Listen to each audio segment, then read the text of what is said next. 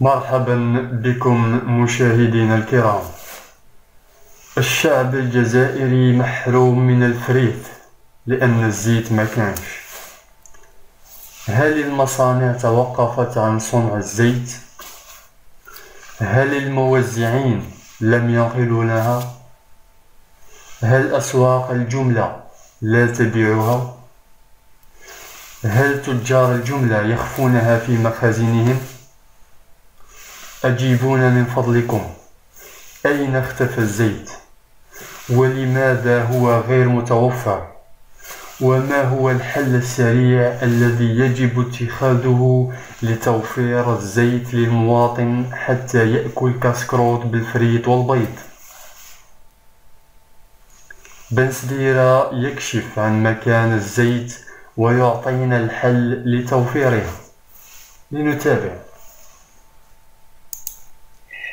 يا شباب لازم تفهموا حاجة أنا قلت لكم من البداية إنه هذه مش عارف هذه الحركات البهلوانية. لي غير محددة المعالم.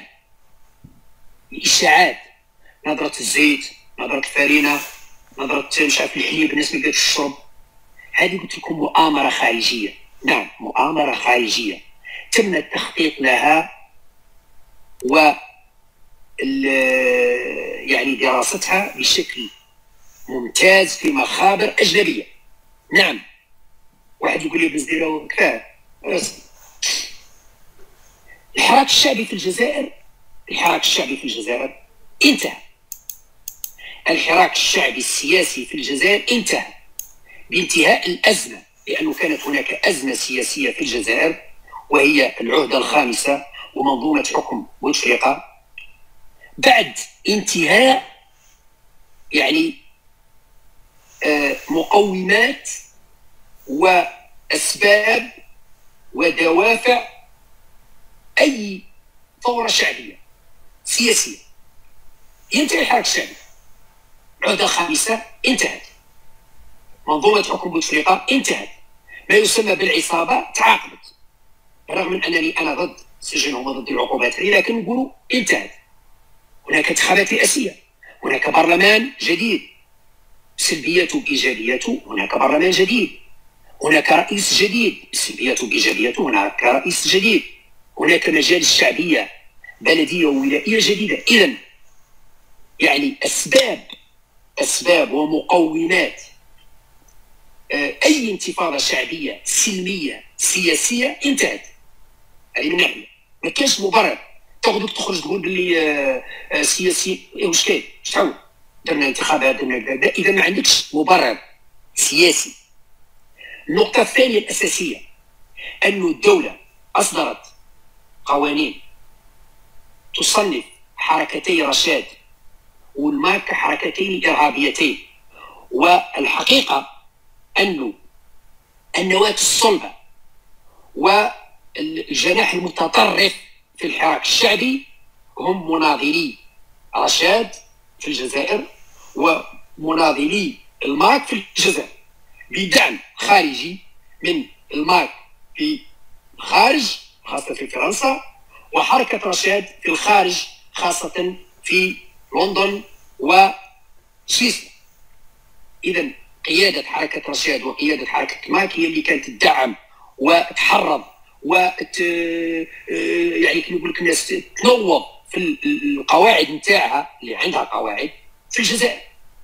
القوانين التي صنفت حركة رشاد وحركة الماك كحركتين إرهابيتين قضت على هذا الوعاء الشعبي على هذه القاعدة الشعبية التي كانت تعتمد عليها أو ترتكز عليها أي انتفاضة شعبية سياسية. انتهى أصبح أي واحد يشم في ريحه رشاد أو الماك السجن. وكاين عشرات بل مئات في السجن بتهمه الانتماء إلى حركتي رشاد أو الماك اذا الآن الدولة غلقت كل المنافذ. غلقت كل المنافذ على أي حراك سياسي. على أي حراك سياسي. الان هو البديل. البديل لإخراج الشعب إلى الشارع وانتفاضة شعبية وثورة شعبية وهيجان شعبي هو مس جيب المواطن. وهو ضرب القدرة الشرائية للمواطن. وهو خلق أزمة اجتماعية اقتصادية خاصة الاجتماعية أو ما يسمى بثورة الجياع. لأنه هذا الكلام قلته أنا قبل أشهر وسنوات قلت, قلت لكم نستطيع نستطيع أن نتحكم في شعب شبعان ويطالب بإصلاحات سياسية. الشعب ما تخافش الشعب اللي يكون شبعان ويخرج بعد ما يضرب فيها كما يقول لك الناس. غدا مريقه لمصرة الظهر الجمعة يضرب فيها قهوة وقارو ويخرج هو وولاده ويقصروا كذا يسقط النظام ويسقط الجيش ودولة مدنية مش مش عسكرية وشبعان. شبعان ويخرج تقدر تتحكم فيه. تقدر تتحكم فيه حتى وتخوف وتضربه بكف يروح. تخوف وتدير أي مشكل يروح. توعيه يروح. لأنه شبعان في كرشو تقدر تناقشوا فكريا. واحد كيكون شبعان. تقول له ريح قابلين تناقشوا. ريح محمد تناقشوا يقعد يناقشك أو دير كارو قهوه وهو شبع ضرب فيها طبسي تاع مش عارف انايا شخشوخة أو صفيطي أو مش عارف شيشه ولا أي حاجة ولا ضرب فيها فريطوملات وفريطوملات بالبيض اورنج بالتفاح وكذا ويجي يريح معاك يناقشك هذاك يكون شبعان لكن الخطر الخطر الأعظم أنك تواجه انتفاضة شعبية للجوع واحد خارج من أجل جوعان كرشو فارغه معناتها ما عندوش استعداد باش يخمم بعقله. معناتها خرجته كرش وما خرجوش عقله. هذا هو الخطر. الخطر الأعظم أنك تقابل شعب جوعان. يطالب بتوفير الخبز يطالب بتوفير الزيت يطالب بتوفير الحليب لاولادو نوض الصباح ولادو يمكن ما كانش يشربوا الحليب. نوض الصباح مرته تقول ما عنديش باش طيب بطاطا الزيت ما كانش. نوض الصباح يلقى روحو فرينه الخبز ما كانش. ها هو المشكل؟ هذه الأزمة الأخطر أنك تواجه شعب جوعان. وهذا ما يخطط له الخونة والعملاء وهو تهييج الشعب والاستعانة بقواعدهم في الجزائر اللي هما قواعدهم من بين التجار. معظم تجار الجملة هذه حقيقة لازم نقولوها. معظم تجار الجملة ينتمون لحركة الماك اللي هما قبائل أو لحركة رشاد اللي هما ينتمون إلى التيار الإسلامي. لأنه عدد كبير من أنصار التيار الإسلامي في الجزائر سواء أنصار الجبهة الإسلامية بكري أو أنصار الحركات الإسلاموية أو أنصار حركة رشاد تلقاهم في التجارة. ما يكرهوا الإدارة ما يخدموش في الإدارة. أو الاداره تروح ما تقبلهمش لأنه عنده سوابق هذا ينتمي إلى حركة كذا ينتمي إلى إذا يروح التجارة يروح يفتح حانوت grossiste الزيت السكر القهوة. إذا عندهم تعاطف مع الحركات المتطرفة اللي هي حركات رشاد وغيرها. بالنسبة للقبائل جماعة الأمازيغ القبائل اللي حاكمين ال monopole تاع التجارة. الزيت والسكر والقهوة معظمهم ينتمون لحركة الماك. وبالتالي هناك تنسيق ما بين حركة الماك ورشاد مع التجار في الجزائر اللي هما اللي راهم يلعبوا في اللعبة هذه الخطيرة وهي ممارسة ضغط على الشعب ونظرة المواد أساسية أنا قلت لكم أكثر من مرة أعيد وأكرر المشكل ليس في نظرة المواد الاستهلاك المشكل موش في الزيت المشكل موش في السكر المشكل موش في في, في, الحليب. موجودين. تروح للسوق تلقاه والدليل روحوا قراوا في الفيسبوك قراوا في الجرائد. خلال هذا اليومين الماضيين مصالح الأمن ألقت القبض على عدد كبير من التجار مخزنين الزيت والفارينة والسكر والحليب. أقراو تلقاو. تمكنت مصالح الأمن من آه يقول لك الناس اقتحام مخزن فيه كمية كبيرة من الزيت فيه كمية من الحليب فيه, كميات. يعني المواد موجودة ما مواد مش موجودة موجودة. المشكل في التوزيع.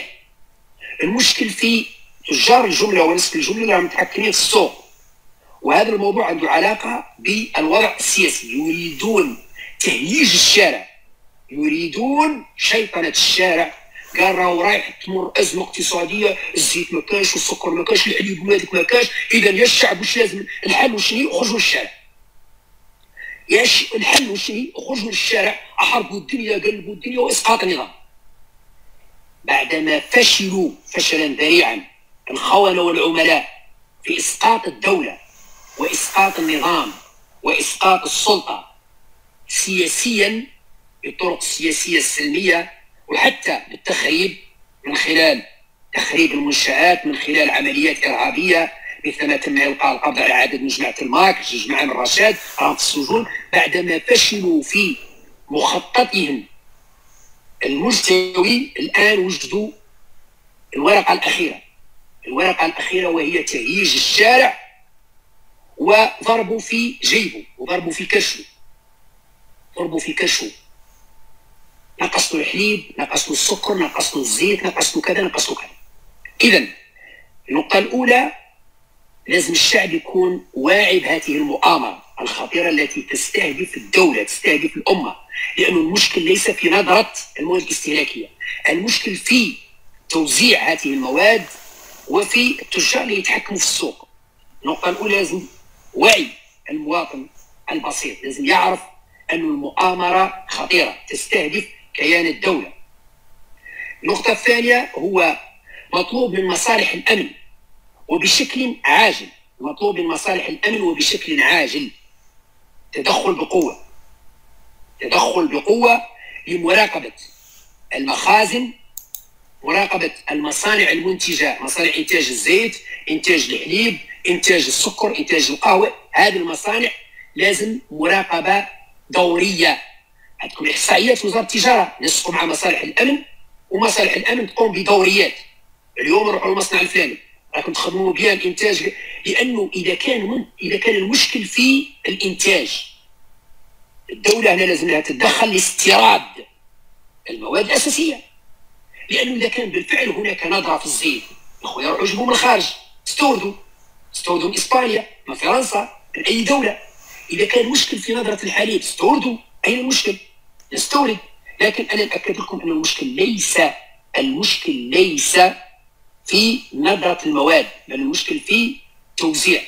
وهذا مخطط جهنمي يدخل في إطار مخطط استهداف الدولة ضرب الدولة محاولة زعزعة النظام وإسقاط كيان الدولة. هذا مخطط الخونة والعملاء اللي يحاولوا زرع الفتنة زرع الخراب زرع البلبلة زرع كل أنواع الفساد.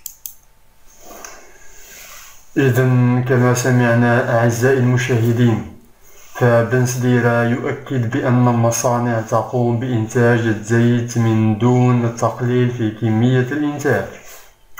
وبدون نقاش يطالب بتسليم هذا الأمر للأجهزة الأمنية من أجل البحث والتحري عن مكان إخفاء الزيت. لأن الزيت يتم إخفاؤه عنوة من أجل خلق أزمة داخل البلاد. وبمعنى أنه هناك مؤامرة مدبرة من أجل تهييج الشعب الجزائري من جديد وإخراجه إلى الشارع مرة أخرى. ولا توجد وسيلة لذلك لأنه نفذت كل الطرق لتهييج هذا الشعب الهائج في طبيعته والمنرفز في طبيعته أيضا. إذا لا توجد وسيلة لتهييجه سوى قطع المواد التي لا يستطيع الاستغناء عنها مثل الزيت. لأن الفرد الجزائري لا يأكل سوى الفريت والزلابية والخبز أي المأكولات التي تتطلب الزيت. ولو تتبعنا قليلا فإن من يريدون التخلاط في البلاد هم أتباع الحركتين الإرهابيتين الماك ورشاد. وهي ليست صدفة أبدا أن تجدهم متمركزون في منابع المال. إذا فهؤلاء ليس همهم البلاد ولا الإصلاحات ولا التطوير ولا التقدم ولا أي شيء. همهم هو جمع المال ليس إلا. لذلك نراهم مسيطرين على منابع المال ولا يوجد مكان أفضل من أسواق الجملة. وقد وصلوا إلى تلك المراكز عندما كان الشعب الجزائري ينزف. هم استغلوا الفرصة لأنهم مشاركون في عملية إبادة الجزائريين في التسعينات. إذا هم يتحكمون في بطون الجزائريين وأي إصلاح في البلاد سيضرهم ويضر مشروعهم في السيطرة أكثر. لذلك فهم يستعملون تلك الوسيلة كوسيلة ضغط على السلطة. أي بمعنى يا تخلونا نديرو كرانا يا نخلطوها. والحل هو أن تتدخل مصالح الأمن وتراقب مستودعات التخزين وتتبع الشاحنات التي تخرج الزيت من المصانع. ونفس الأمر مع باقي المواد الاستهلاكية. في ظرف أسبوع سنقضي على هذا المشكل. إلى اللقاء.